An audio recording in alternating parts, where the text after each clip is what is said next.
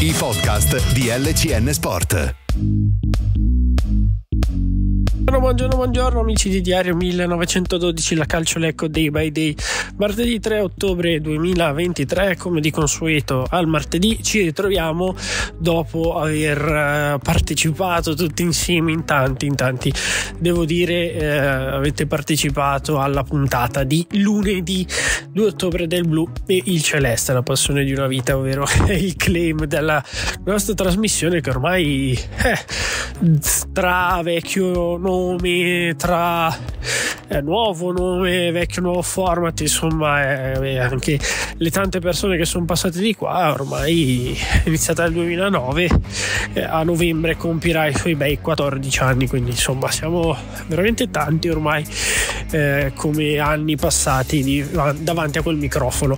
Eh, ma al di là di questo piccolo momento a Marcord, dobbiamo stare concentrati, molto concentrati sul presente perché eh, il Lecco chiaramente è in questa fase delicata, delicata della sua stagione ed era anche abbastanza lecito attendersi che eh, quest'annata sarebbe partita sotto eh, un certo tipo di eh, auspicio non particolarmente eh, felice, ce, ce, lo potevamo tranquillamente aspettare. Insomma, l'estate che ci hanno fatto attraversare è stata eh, oltremodo complessa, oltremodo farraginosa a livello di tempistiche, eh, montagne russe assolutamente dettate da, da tempistiche che non erano neanche nostre, perché poi alla fine l'Ecco, voglio dire, ha rispettato i tempi degli altri, i tempi della giustizia sportiva, della giustizia ordinaria e quindi fino alla tarda mattinata del 30 agosto 2023 non ha uh, conosciuto la propria categoria di appartenenza. Questo vuol dire essere eh, partiti tardi, aver fatto un mercato alla bella meglio, essere anche arrivati all'accordo con il direttore sportivo eh, come Domenico Fracchialla solo e solamente dopo la sentenza del Tarchi ecco diciamo questa sì ha fatto eh, completamente pendere la bilancia dalla parte blu celeste ok che poi c'è stato il passaggio al, colli- al Consiglio di Stato però poi al di là della strizza che è un sentimento vuol dire umano giustificato e logico quando è arrivato il 29 e 30 di agosto però sapevamo razionalmente che salvo, salvo. Cose clamorose non sarebbe cambiato. Il panorama e così. È successo per il Lecco, per la Regina, per il Brescia, il Foggia, il Perugia, chi più ne ha più ne mette, insomma anche senza andare a scomodare le altre categorie e le altre squadre tante coinvolte, però comunque eh, fino ad agosto inoltrato e molto inoltrato anche per alcune operazioni l'Eco non ha potuto operare. Detto ciò, dal 30 di agosto è passato anche più di un mese, quindi ci sono dei fattori di cui è giusto tener conto e sicuramente l'Ecco ha ancora tanto terreno da dover recuperare perché l'Ionita e Marrone e via dicendo sono arrivati tardi però c'è anche da dire che eh, sul piano del gioco il Lecco era non facilmente eh, pronosticabile a questo livello. Comunque il Lecco gioca un calcio anche gradevole, riesce a farlo per un tempo limitato, questo è, è sicuramente dettato da una condizione fisica che non può essere ottimale per tutti perché ci sono stati infortuni, perché ci sono stati appunto arrivi in forte ritardo, arrivi in ritardo da parte di chi oggi è anche titolare e e quindi ci sono tutte queste situazioni che non sono così semplici da andare a risolvere in un periodo di tempo eh, che rimane comunque breve. Ci sono giocatori dalla eh, massa fisica a massa muscolare abbastanza importante che ovviamente hanno bisogno di più di un mese di tempo per entrare pienamente in forma. Detto ciò, che l'Ecco sappia esprimere un calcio comunque di questo buon livello per eh, un'ora abbondante è e rimane, questo dicevo anche ieri, un fattore positivo di cui bisogna per forza di cose tener conto. Punto e virgola. Perché poi c'è il resto, c'è il resto che devi avere tu come giocatore addosso. E questa è insomma la fame concentrazione, livello di attenzione, consapevolezza di eh, poter portare a casa questi punti. Perché poi quando si va a affrontare una squadra come il Cittadella che è maestra a fare alcune cose eh, bisogna sempre ricordarsi che di fronte all'Ecco la gente che per la gran parte ha fatto la Serie C o l'anno scorso o fino a otto mesi fa io mi riferisco a Matucci è retrocesso con Montevarchi e oggi gioca titolare in Serie B. Non fa neanche male okay. con l'Eco non una grande partita ma in precedenza anche delle ottime prestazioni. Pittarello, Magrassi, Maestrello tutta gente pescata dalla categoria inferiore. Carissoni il Lecco l'ha scartato qualche anno fa dopo il primo periodo di D'Agostino giusto per ricordarci certe cose. Angeli si giocava contro l'anno scorso Pavan ha fatto anni arenate fatti bene però comunque in C. E, e poi vabbè potremmo proseguire e, e narrare eh, tante carriere che veramente sono passate dalla Serie C per quanto riguarda il Cittadella quasi tutte. E quindi dov'è la verità?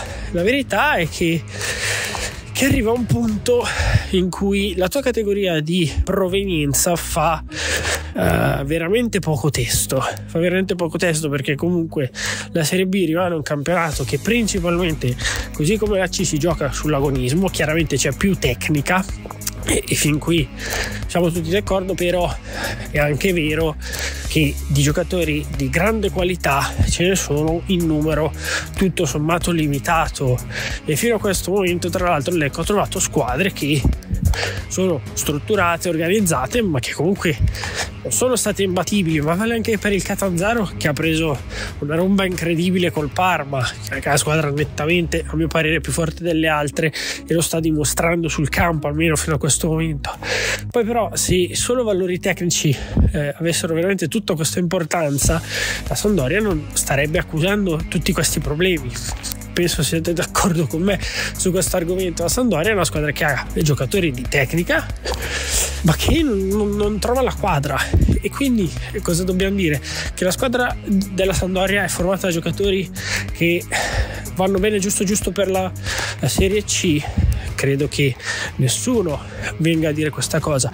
Per quanto riguarda l'Ecco, io non credo che gente come Novakovic, gente come Ionita, come Crociata, come Marrone e ah, come anche altri elementi sia buona solo per la C. Parliamo di gente che ha fatto la Serie A, l'ha fatta per anni, l'ha fatta bene, ha fatto bene la Serie B.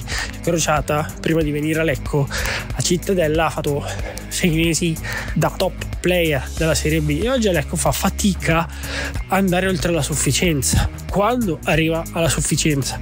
Quindi questo cosa vuol dire?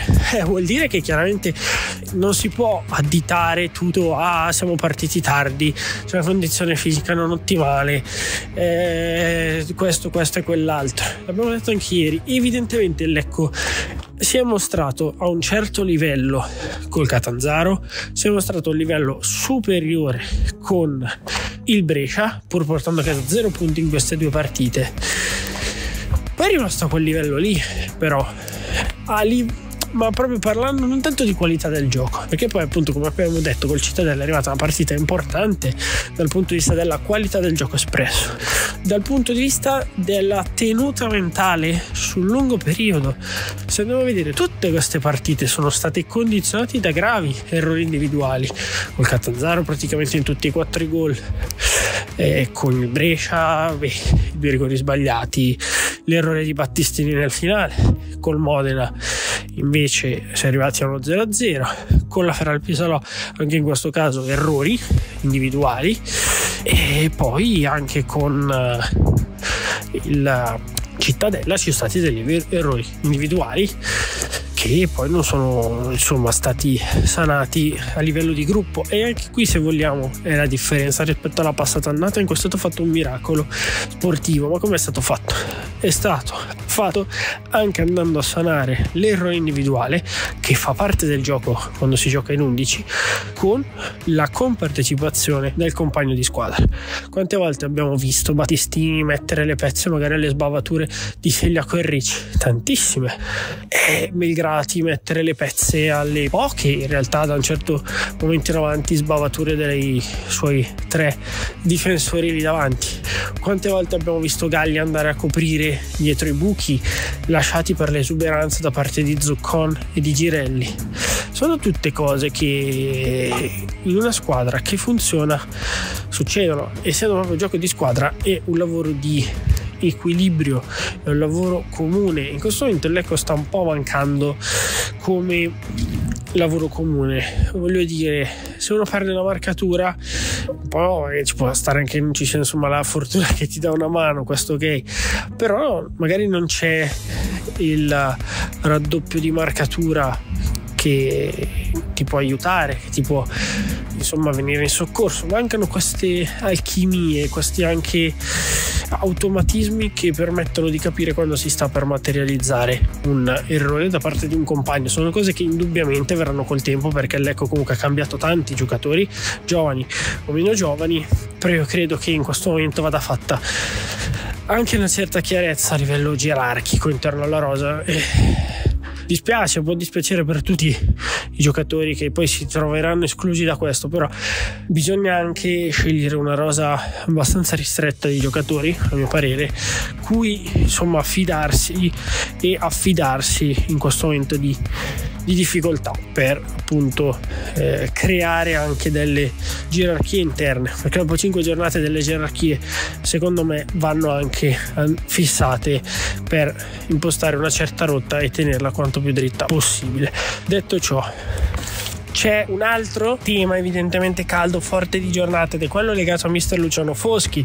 Ovviamente avete seguito ieri LCN Sport, ma non abbiamo parlato solo noi di come sia stata accordata la, questa fiducia a tempo, che tra l'altro noi avevamo già eh, definito così dopo l'Ecco Ferrari Salò. La posizione di Foschi già traballava, evidentemente dopo Cittadella traballa di più, siamo al dunque. Dopo Cittadella si tireranno le somme, avevo detto. Di fatto è così, seppur parzialmente, perché quando tu dici, pur non avendolo fatto pubblicamente, all'allenatore viene concessa ancora quest'ultima occasione, in cuor tuo forse la decisione l'hai già presa e quindi possono essere solo cose veramente forti e importanti a, a potertela far cambiare. Questo parere l'abbiamo già espresso. Concedere fiducia a tempo ha, fi- ha, senso, ma fino a un certo punto, perché quando dai fiducia a tempo tu come dicevo poco fa, hai già eh, almeno parzialmente sconfessato quello che è il progetto tecnico. Questo è il nostro modo di vedere la cosa, perché in questi anni, quando è stata concessa fiducia a tempo agli allenatori, Gaburro, Zironelli, giusto per dirne due, alla fine poi l'esonero è arrivato di Riff, di Rafa, per motivi più o meno logici, eh, l'esonero è arrivato, punto. Perché era già stato messo nell'ordine delle cose. Se qualcuno mi viene a dire l'Ecco non sta già scegliendo il sostituto di Foschi o non lo sta quantomeno individuando, a mio parere dice una bugia. Non ci credo che tu vai a dare comunque una sorta di ultimatum all'allenatore senza avere un'alternativa a cui affidare la panchina per le due settimane che poi ti separerebbero eventualmente da Cosenza Lecco, Lecco Ascoli con la cosa nazionale in mezzo. Io a questo credo veramente poco. Credo che Lecco stia preparando il piano B e da un certo punto di vista anche per fortuna, perché comunque se poi devi arrivare a queste decisioni che vengono sempre estreme, perché poi il esonero di un allenatore è sempre una decisione estrema, è un fallimento per tutto il, l'ambiente di una società, eh, ecco che de- devi comunque arrivare a attivare un piano B nel minor breve, nel minor tempo possibile, questo è evidente. Foschi ovviamente non ha, non ha, non avrà tutte le colpe, come non avrà eventualmente tutti i meriti nel caso di una risalita repentina della classifica. È evidente che quando si parla di lavoro di squadra, se l'ho detto 5 minuti fa, non posso sconfessarmi, ci sono colpe e meriti di tutti, se le cose vanno, le cose non vanno. Aveva i suoi meriti l'anno scorso, le sue colpe quest'anno. Da questo meccanismo non si può trascendere, se si arriverà all'esonero le colpe saranno da dividere anche eccezionalmente in questo caso su fattori esterni, però comunque verso errori che ci sono per la società, perché alla fine poi il Brescia, che è squadra retrocessa, ricordo, è stata riammessa e sta andando comunque bene in questo campionato. Più pronta, sì, però comunque la spada di Damocle l'ha avuta in ogni caso fino al 30 di agosto. Però comunque è partita, ha fatto i suoi punti e, e sfruttando la voglia di rivalsa di chi era retrocesso l'anno scorso, mi viene da dire, e comunque facendo anche del mercato, investendo delle risorse importanti, perché comunque gente come Bjarnason è così, non è che arriva esattamente così per farti un favore, ci sono delle risorse importanti da investire. Vedremo quali saranno i prossimi passi. Lecco, ieri ha già ricominciato a allenarsi alla mattina, quindi si, eh, per forza di cose si lavora in maniera intensa perché questo bisogna fare comunque sul campo. Mi risulta anche di, insomma, di un confronto anche abbastanza acceso, ma va bene che sia così interno alla sede di Via Don Pozzi perché al momento chiede anche dei confronti che siano schieti anche se c'è da fare qualche volare qualche tavolo. Io non sono voglio dire uno di quelli che si scandalizza anzi lo vedo come una cosa positiva perché se c'è un sentimento negativo è perché questo deriva da una situazione negativa. Se uno vive tranquillamente una situazione negativa ecco proprio, proprio non ha, ha molto amore rispetto a quello che sta facendo. Quindi se uno si incazza in una situazione negativa vuol dire che le cose hanno ancora un loro senso logico Ecco, vedremo, dicevo, quali saranno i prossimi passi, che mh, mm, appunto ormai direi che non ci porteranno verso soluzioni estreme prima della trasferta del Marulla, che comunque rimarrà assolutamente complessa, perché il Cosenza è una squadra che sta benissimo, a grande entusiasmo, e eventualmente eh, siamo qui pronti a captare quali possono essere le idee della società in caso di cambio di scelta, di cambio sulla panchina, che eh, è molto molto vicina alla curva curva nord dello stadio Riga Monticeppi di Lecco. Buona giornata a tutti, forza Lecco sempre.